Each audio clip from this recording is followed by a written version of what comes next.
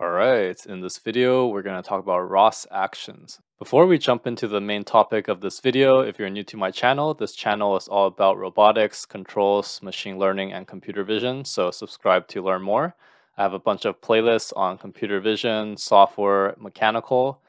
This one's on OpenCV, ROS2, Python, C++, Git, mechanical design, SolidWorks, and here's my GitHub that goes along with it. So let's jump back into the topic of this video. So actions lets you communicate between nodes with a goal, feedback, and result in a client-server fashion. So you'll see it in action. But first, let's uh, run two nodes. So ROS2 run uh, turtle sim, turtle sim node.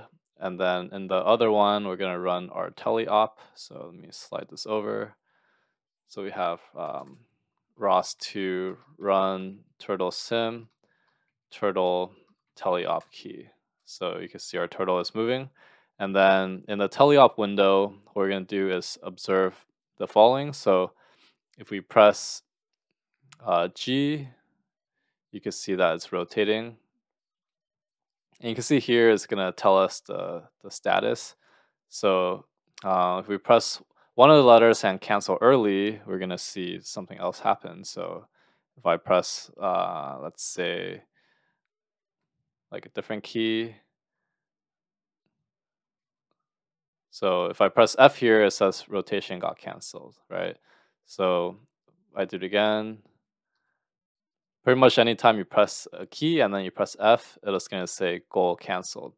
And then if I try toggling between uh, two commands here, you're going to see that uh, rotation goal received before a previous goal finish, aborting previous goal.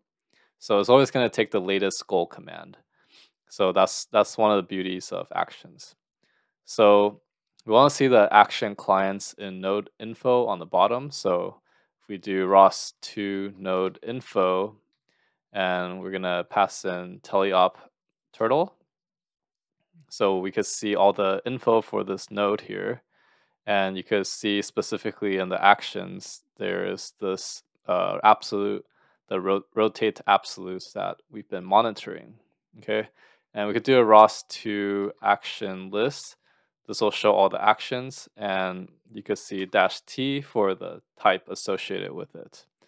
Okay, and we can also see the action info. We could do ROS2 action info and then pass in the action name. So we have turtle1 rotate absolute.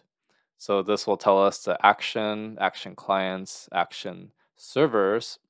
So you can see the client is the teleop and the server is the turtle sim. So we can see the data type for the action by using the interface.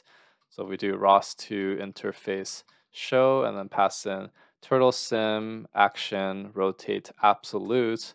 We could see that it communicates by using a float 32 of theta.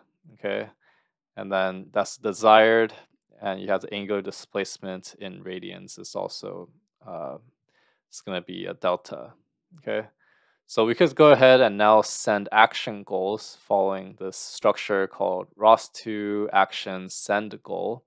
And then you pass in the action name action type and the goal. Okay so if I copy this line here and if I run this here you see I have ROS2 action send goal.